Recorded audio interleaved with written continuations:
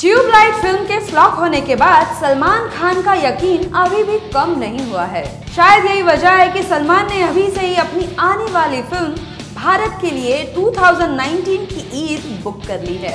आपको बता दें कि ये फ़िल्म 2014 में आई कोरियन फ़िल्म ओट टू माई फादर का ऑफिशियल रीमेक होगा, जिसे प्रोड्यूस करेंगे अतुल अग्निहोत्री और डायरेक्ट करेंगे अली अब्बास जाफ़र, जिन्होंने सुल्तान डायरेक्ट की थी। सलमान पिछले कई सालों से अपनी फ़िल्म ईद पर रिलीज़ कर रहे हैं और ये उनके लिए काफ़ी फ़ायदेमंद भी साबित हुआ है। बट आफ्टर ट्यूबलाइट फेलियर देखने लायक ये होगा की भारत फ़िल्म बड़े पर्दे पर अपना जादू बिखेर पाएगी या नहीं। लेटेस्ट गॉसिप्स और खबरों के लिए देखते रहिए चिलेक्स